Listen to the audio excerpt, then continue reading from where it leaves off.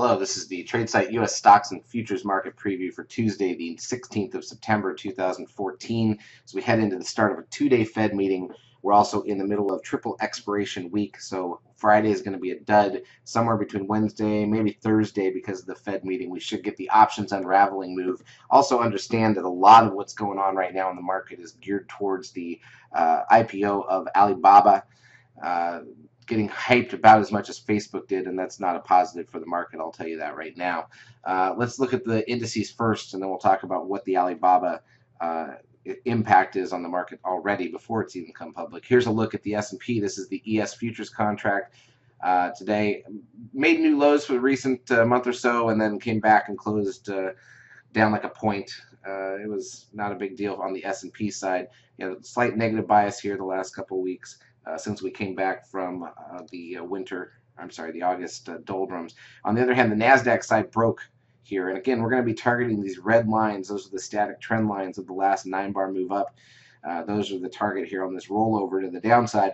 There's a lot of gaps to fill in the NDX. They were all created in the uh, in the doldrum days of August. We talked about this over and over, and you're going to have to get back. The the irony is, if you take a good look, the red line that we're going to be approaching there, just under 3,900, not only is that the static trendline target, but it's also the only gap, the lowest gap uh, that needs to be filled from about two days prior. You can see that gap there. It's at the same price level. So both are going to fulfill two things, the uh, static trendline touch and the gap fill. That's going to be our target, and we've been talking about that for a while.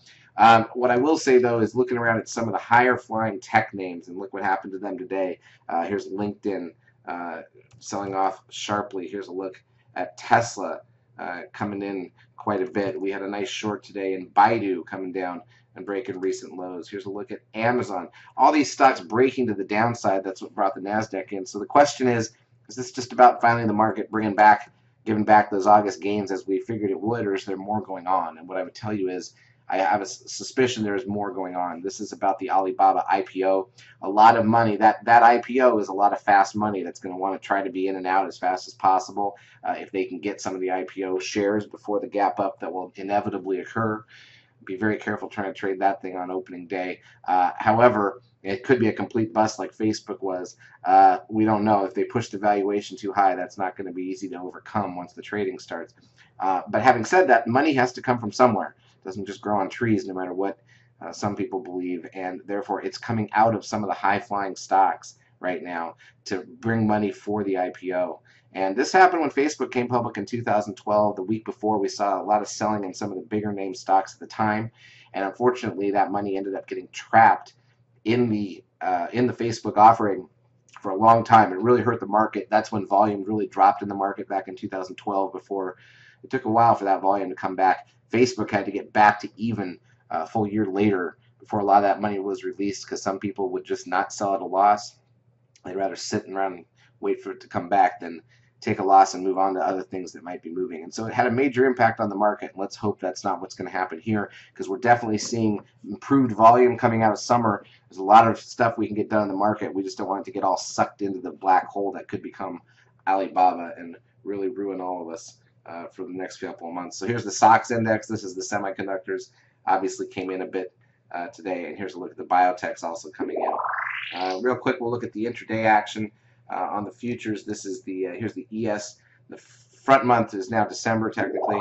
And again, you can see how the volume has come in the last two days. Remember, uh, Friday, Thursday to Friday was the contract roll from September to December. Now we've got normal trading volume in the December contract, which means the technical the technicals there are live, and, and the big money players have uh, are able to trade it the way they normally would, and that that's why Friday was a little light, is waiting for that to sort of play out and set up for a day or two.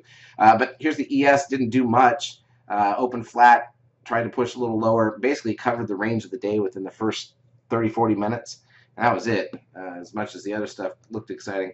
And we certainly we had some big winners uh, to start the week, but it was all on the Nasdaq side. We had the short in the TQQQ, Baidu, Amazon. Uh, we did have we did have a long at Goldman Sachs that actually worked. Uh, nice pattern there that triggered with market support. So it was a good day overall, real solid start to the week, and that's good because you know with the Fed you're going to burn a day somewhere in here uh, where things are just going to be a little unexciting. But here's the Nasdaq side, open with a slight gap up and tanked and all those tech stocks selling off. Again, focus on the Alibaba. It's a good learning experience for people who haven't been through this before. Let's see what the end game of this particular IPO is. Charts as usual brought to you by eSignal 11. We'll be in the trading lab calling it for our traders as usual all the rest of the week. Have a good Tuesday.